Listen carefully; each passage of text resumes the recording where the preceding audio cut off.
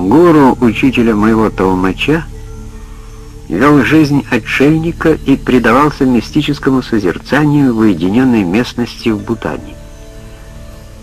Один из его учеников жил у него и ему прислуживал.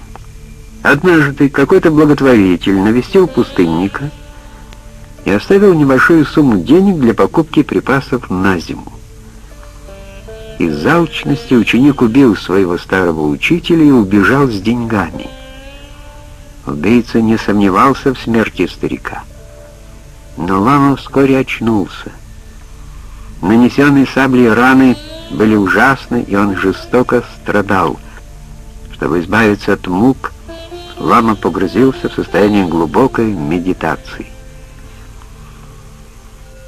Тибетские мистики умеют достигать степени сосредоточенности мыслей, снимающей всякую физическую чувствительность. Меньшая интенсивность концентрации мысли эту чувствительность значительно притупляет. Через несколько дней после преступления другой ученик отшельника пришел его проведать. Лама лежал в состоянии глубокой медитации, закутанный в одеяло, недвижимый. Смрад, издаваемый уже загнившими ранами и пропитанным кровью одеялом, привлек внимание юноши. Он начал расспрашивать учителя. Тогда старик рассказал ему о своем несчастье.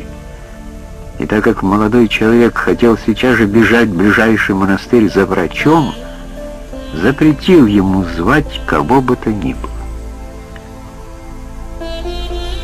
«Если узнает о моем состоянии, — сказал он, — то начнут искать виновного, а он еще не мог уйти далеко. Его найдут и, вероятно, приговорят к смерти. Я не могу этого допустить.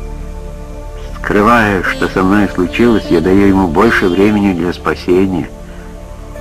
Может быть, когда-нибудь он исправится.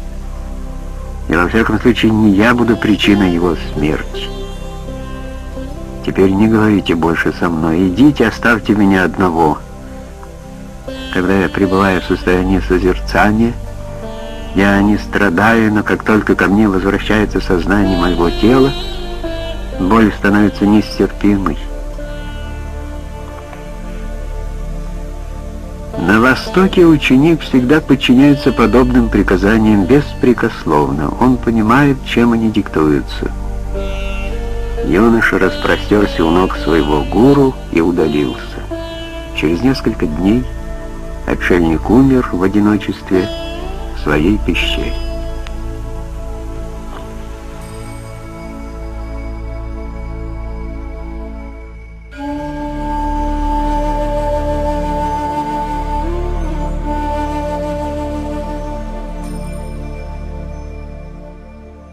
Хотя Давасан Дюб очень восхищался поведением того святого ламы, подобные вершины нравственного совершенства казались ему слишком далекими, чтобы стоило к ним стремиться.